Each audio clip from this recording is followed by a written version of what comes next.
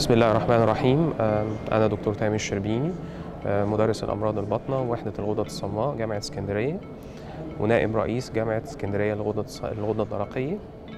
أنا سعيد إن حضراتكم شاركتونا النهاردة في مؤتمر الجمعية المصرية للبدانة والغدد الصماء. وحبيت إن أنا أشارككم عن واحدة من البرزنتيشنز اللي أنا قدمتها النهاردة.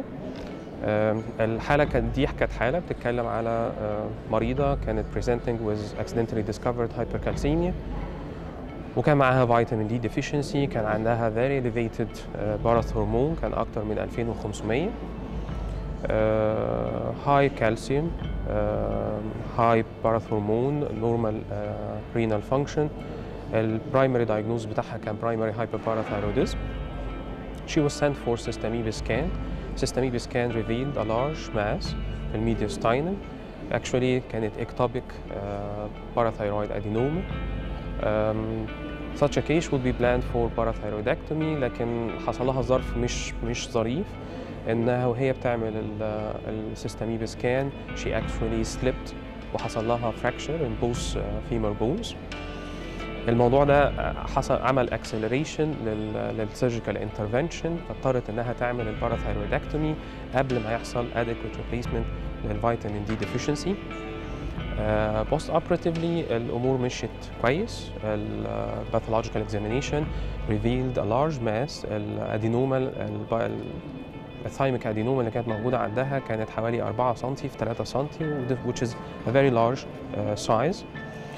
لكن postoperatively الأمور مشيت كويس لأن إحنا لقينا الكالسيوم كان below normal سواء كان ال total calcium أو ال ionized calcium ال parathyroid hormone قلت لحضراتكم إنه كان أكتر من 2500 قبل العملية لكن بعد العملية نزل ل 350 الكالسيوم كان below normal ال vitamin D كان still deficient لأنه ال fracture accelerated ال process وبالتالي إحنا ما كناش ما كانش في وقت إن إحنا نعمل replacement لل vitamin D لكن بعد ست أسابيع من ال follow up لقينا إنه الكالسيوم كان still low normal لكن ال parathyroid hormone كان 370 370 و 350 بالنسبة لاكثر من 2500 preoperatively إحنا متأكدين إنه كان في surgical effect لكن إحنا كنا concerned هل ده معناه إن أنا عندي persistent hyperparathyroidism أو عندي recurrent hyperparathyroidism. ف after reviewing ال definitions لقينا إنه عشان أقول إن أنا عندي persistent كان لازم يكون في hypercalcemia مع ال elevated parathyroid hormone وعشان أقول إن this is recurrent لازم الأول يحصل normocalcemia وبعد أول ست شهور يحصل hypercalcemia وده ما حصلش مع المريضة بتاعتنا. فبالتالي after looking up literature لقينا في الآخر إنه في بعض الناس بيحصل لهم eucalcemic parathyroid hormone elevation بعد ال surgical intervention ده characterized by normal calcium. لكن persistently elevated باراث هرمون above the normal. لما برضه حاولنا نعرف is it common to occur or not لقينا إن الموضوع ده بيحصل من 12 لحد 43% من كل الناس اللي بيحصل لهم باراثايرويدكتومي for hyperparathyroidism. حاولنا برضو نفهم هو إيه اللي ممكن يسبب كده فلقينا إن الأسباب المشهورة إن يكون في فيتامين دي deficiency causing secondary hyperparathyroidism. آه ممكن يكون ده حاجة بنسميها calcium leak ممكن يكون ده adaptation بسبب ال prolonged elevation of the parathyroid hormone وبالتالي ده ممكن يكون خلى ال parathyroid hormone receptors تقل شوية أو ال activity of 1 alpha hydroxylase يقل شوية. وبالتالي إحنا مسكنا بداية الخط الخيط وقلنا إنه المشكلة عندنا هو ال vitamin D deficiency لأنه after surgery كان ال vitamin D 11 which is in the deficient uh, range.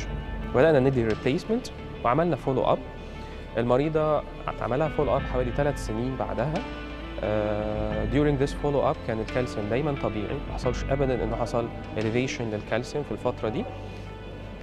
كذلك ال vitamin D حصل له very rapid repletion بحيث إنه بعد شهرين كنا خلاص وصلنا للمعدلات الطبيعية. ولقينا إنه ال parathyroid hormone بدأ يحصل فيه gradual improvement بمعنى إنه بعد 350 و 370 بدأ بعد كده يبقى عندنا ال 170 ثم بعد كده 96 ثم 93 و eventually بعد تقريبا العملية بحوالي ثلاث سنين وصلنا لحوالي 78 which is almost normal. الرسالة من الحالة ديت هو إنه لو أنا عندي vitamin D deficiency associated with primary hyperparathyroidism وما حصلهاش adequate replacement قبل الجراحة ده ممكن يسبب لي persistent parathyroid hormone elevation after surgery do not be fooled يعني ما تفتكرش ان this is persistence or this is recurrence لا ده actually secondary hyperparathyroidism related للايه لل primary لل vitamin D deficiency الحقيقة من من ال discussion اللي حصلت مع مع الضيوف اللي موجودين معانا من أمريكا ومن من كندا هم حتى suggested إنه most probably الباراثايرويد هرمون elevated أكتر من 2500 was a combination of primary and secondary hyperparathyroidism. وعشان كده خدنا وقت طويل عشان نريبليس الحالة دي. كمان قالوا إن حالات زي كده بتحتاج replacement with much higher doses than normal for much prolonged periods. يعني هم قالوا in their experience الموضوع بياخد من سنة لسنة ونص. حصل الكلام ده فعلا بعد الحالة بتاعتنا بعد بعد ثلاث سنين.